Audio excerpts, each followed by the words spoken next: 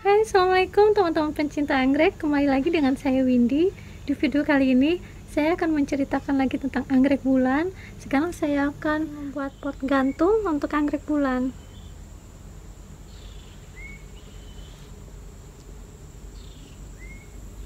Sekarang saya akan menambah lubang di pot anggrek ini.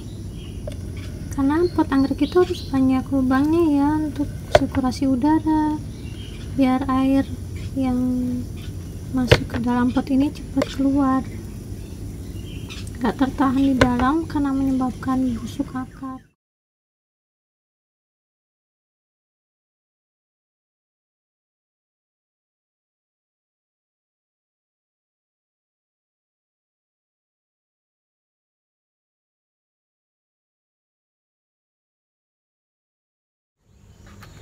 Nah, kalau sudah dilubangin seperti ini, sekarang kita tinggal memasang kawatnya caranya mudah. Tinggal ditekuk bagian ujungnya seperti ini.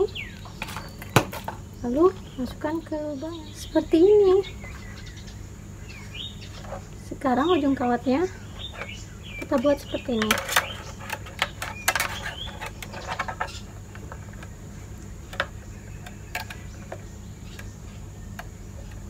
Mudah kan kemudian ujungnya dilekuk lagi. Ini untuk menggantung di jaringannya anggrek bulan cantik ini akan saya pindahkan ke pot gantung yang tadi saya buat. Caranya buka sopotnya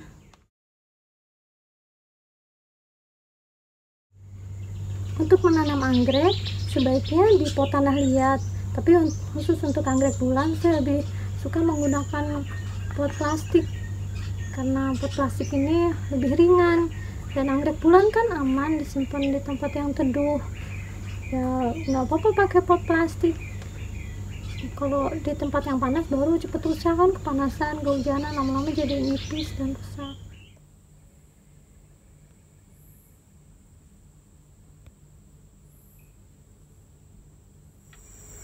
Kecuali selain pot gantung.